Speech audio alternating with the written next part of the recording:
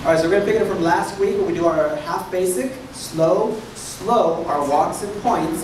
One, two, three, four, five, six, seven, eight, back step. Now we're gonna go ahead and do four swivels, slow, two, three, four. On five, I'm gonna raise my hand for the underarm turn. Five, turn, six, back step.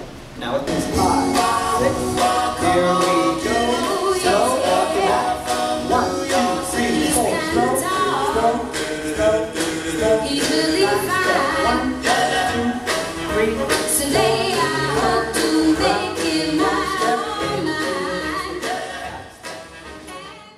For the waltz, we started off with a half a box and then we did an underarm turn to the right. So on step number four is a signal. Gentlemen, your left arm goes up and your right hand goes out.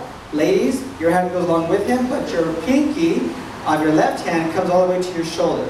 So try that again. On step number four, we're going to stop. One, two, three, four. Now from here, we're going to continue walking ladies in a circle. Gentlemen, just side together on five, six. We both take a step forward twice and then pivot on the second step. One, two, three, sorry. And then on four, five, six, I close my right hand. Four, five, six.